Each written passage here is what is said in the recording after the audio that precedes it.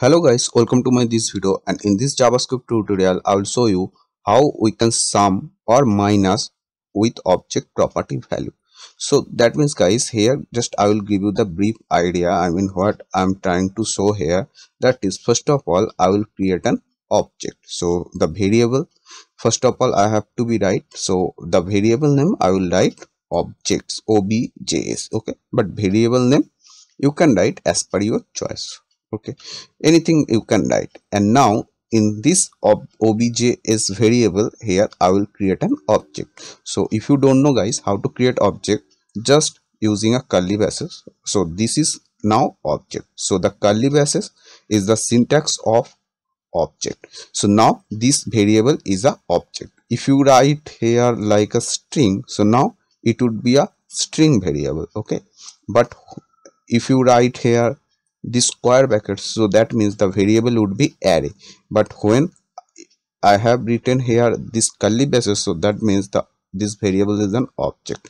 And now in this object object and array these are the like a container. Like guys if you don't know the object array concept so just here i will give you the brief idea. Like if it would be a normal string variable like a okay? So in this string variable just i can store a one value like this okay? But guys if it would be a array like suppose if it would be a array a is a array variable. So here i can store multiple variable using comma separator and the same way if it would be a object so that time we can store the multiple variable using a comma separator that i will show so array and object is an container okay? So now our main motive is to sum object property value okay? So now guys here in this object prop here i will create a property. So now first that one is called property. So i have written a and now a is the property. And when i will write colon any value so that will be the property value. So that means 2 is the value of a okay? And now i will add another property b.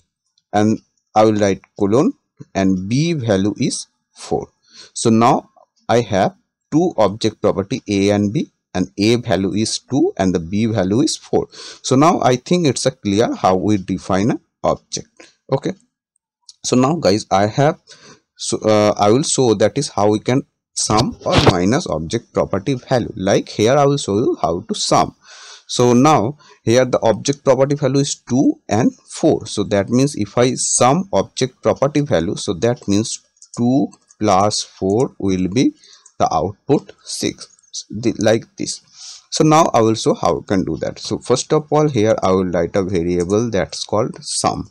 You can write any name of this variable. So why i have assigned here 0 because guys in this sum variable after adding i mean first of all i will write a condition or anything for adding this two value because without we cannot get this value. Okay so that's why i have to write a condition or anything that i will show you in the next.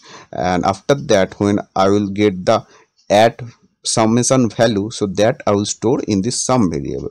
So that's why before that i assign here zero.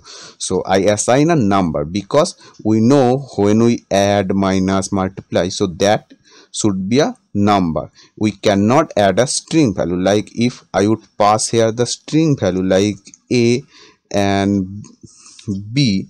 So that time a plus b it's impossible. If i would uh, write the a plus b here i will show you. Suppose if i write a plus b so the output would be a b like this. So it's a impossible to plus. When we plus minus so that time it should be a number. So that's why for when I will store the output so that will be the number also. So that's why sum here I have defined a number value that is 0 initial value 0 okay and now guys here I will write a for in loop. So for let i in and which one I want to use for in loop in this object. So this object so this is the syntax of writing a for in loop. So first of all for parenthesis then I we are to write a variable name. So I have written the variable name i but instead of i you can write anything as per your choice okay? But I have written the variable name is that is i okay? So now i in obj is so what is the use of in? So in means in inside this that is in. Inside this i it will be stored objects all the property a b. Now here is the object two property a and b. So that means a and b will be stored inside this i variable. Whatever you will write here so inside that variable it will be stored this object property name. So let's check it first of all. So now in the here i will write console.log and i. And now save and just i will refresh. So you can see i'm getting a and b. Two property a and b you can see here. These are the two properties. Suppose if i write here the another property that is c. So c is 6 so here you will get three property. Now a b c. Like this way. So for in loop use for getting object property name. So now here i'm getting object property name.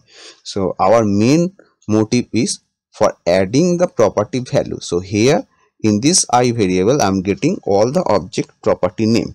So now here i have to be write a condition. The condition will be if and uh, like here this objs okay objs that means this. So objs dot has own property. Okay o w n own property. Parenthesis. So has own property. Here o will be capital and p will be capital. Has own property i so that means guys i will define okay. So first of all in this uh, i will just print it into a console what it will be the output then it will be more clear okay. So first of all i will just remove this console okay. And i will remove i mean comment this one. So let's just here i will write console dot log and here i will print obj dot has own property this. I mean first of all i will show you the use of has own property method. So save and refresh. So you can see it's showing the output is true and that is 3 3 is true. So obj is has own property. So in this i variable i already had shown that is in this i variable i'm getting all the property name okay using for in loop so that means in this i variable i'm getting all the property name. So here i have written that is obj dot has property. So this method just just uh, checking that this i in this i variable i'm storing this object uh, property. So it's checking it in this i variable he this object's own property or not. So it's checking. So i'm getting true but if in this i variable if i would store that is different of like here if i define another object that is called uh, new objs okay? And here if i define any value like h and 1 comma j 2 and if i would write this for loop i mean in this i variable if i would store this new obj's property that means in this i variable now it will be stored h and j.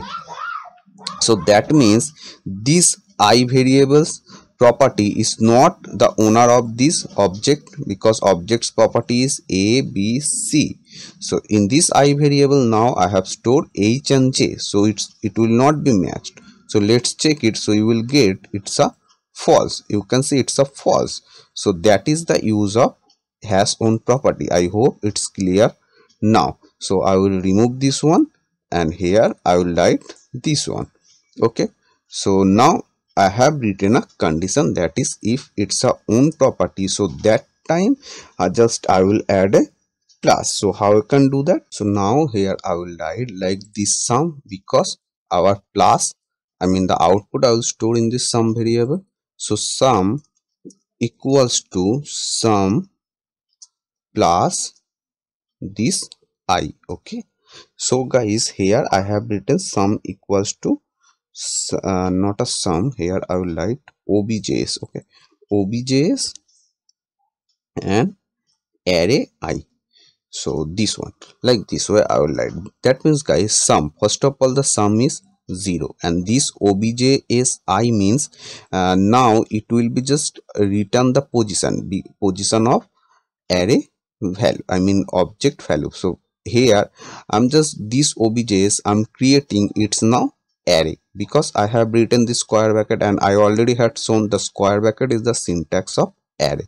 So when I'm using the square bracket um, and inside this square bracket when I'm writing here the i so that means I will get the value of this object. Because in this i am getting object property. And when i'm creating this one as a array so that means that object property which i'm getting in this i variable so that's value now i will get. That is the main trick here okay so now here i have written sum plus objs j. So how it will work that i will just explain. First of all sum is 0 so that means 0 plus a 2 so plus 2 so that it will be 2 so sum equals to it will be first of all 2 okay? So after that the i because now in i am first of all in this here in this after written this for in loop i'm getting object property name. But when i'm creating this one as an array so that time i will get that property which i am getting in this i variable using for in loop. So that's property value i will get. So now first of all uh, a property a property's value is 2 i will get. So 0 plus 2 is the 2 after that 2 plus 4 like 2 plus 4 it will be 6 so now then sum will be 6 okay like 6 plus 6 and mean this value. So it will be 12 so that means sum output will be 12 so this way it will be work. So save and now refresh. Okay so and now i will just print our this variable where i store the output. So save and refresh so you can see i'm getting the output is 12 okay? I hope it's clear. And this one i will just print outside this for loop okay? So now you will find i'm getting the output is 12 okay? So here this way i'm getting the output of object property value sum. And now guys here i have written sum equals to sum plus objs i so for uh, here you can write like this way. Otherwise we don't need to write sum plus objs we just can write here like plus and equals to. So the previous one and now this line is the same meaning. Okay so save and you will find the same output here. So this way we can do that. So i hope guys you can understand. If you not so you can write in comment. I can try to solve your doubt. And if you find this video is helpful so guys please subscribe my channel. Press the notification bell icon. And also don't forget to like this video